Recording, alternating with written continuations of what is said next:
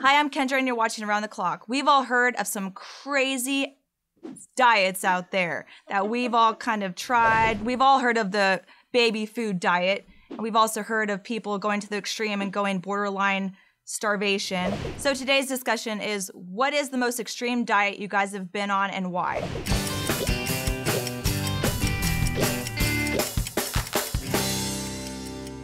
What crazy extreme diet have you guys gone on? I think I've been on a few crazy diets. I mean, I've done, you know, Atkins, I've done like the juicing diet where it was all liquids.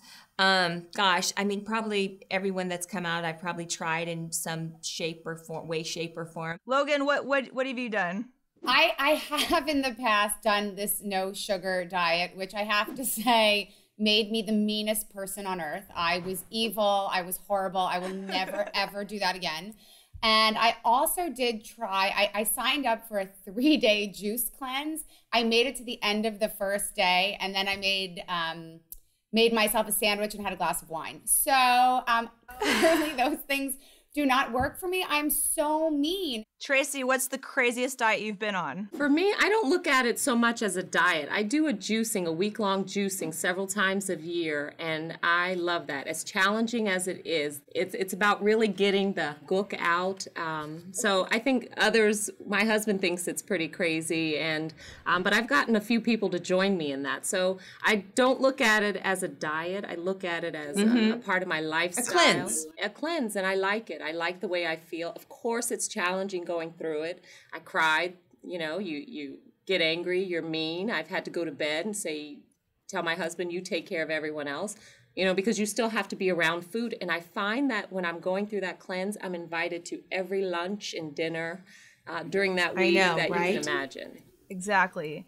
I've gone to every extreme there is. And, you know, I have lived, you know, I used to live at the Playboy Mansion and, uh, you know, I had a lot of pressure on me to like keep my body, but I actually went in the opposite direction. I actually, I got to that point where I really wanted booty, a booty.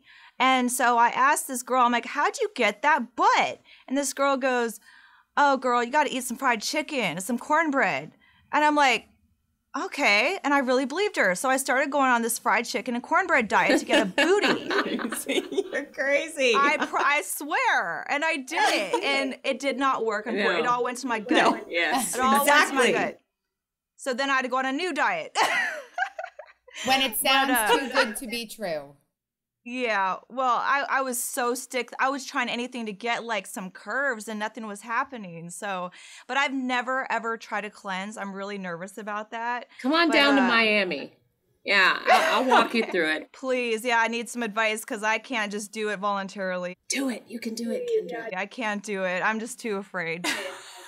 so you just heard about our crazy diet plan. So I would love to hear about yours. So leave a comment below and we'll check you out next time on Around the Clock. Subscribe now. You'll never believe what our moms will be revealing on the next Around the Clock.